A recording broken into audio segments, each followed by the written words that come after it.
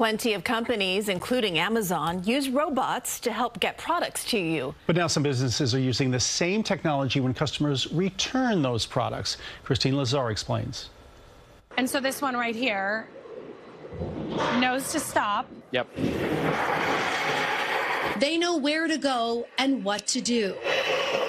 Autonomous mobile robots are now helping to process millions of returns at the Happy Returns warehouse in Santa Clarita, California.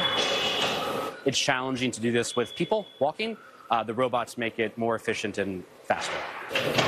Humans take the returns off the trucks and scan them into the system, and then the robots do the rest, delivering and dropping the returns into the assigned box that is then shipped back to retailers. These QR codes on the ground direct the robots. It'll drive there and convey it into a container. Happy Returns Chief Operating Officer Tim Fair says what once took days now takes hours. We now finish all the work the same day we get it um, generally within a couple hours of the uh, truck arriving from UPS. In a report, retailers predicted that nearly 17% of purchases made in 2024 would be returned, and getting those products back on shelves can be pricey.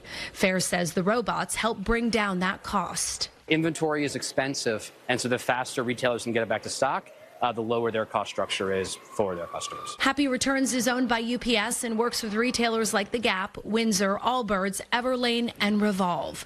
When consumers have a return with one of their participating retailers, they can take it to drop off points at 9,000 locations nationwide inside Staples, UPS stores, and Ulta.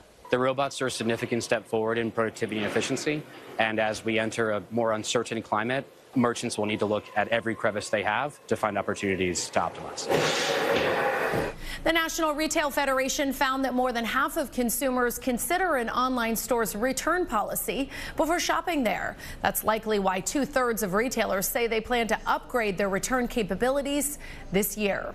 Kristine Lazar, CBS News, Los Angeles those robots are somewhat mesmerizing just to watch them like mm -hmm. look out for right. each other, stop, go. it was like a puzzle. Don't get in the way. Don't get in the No, no, no.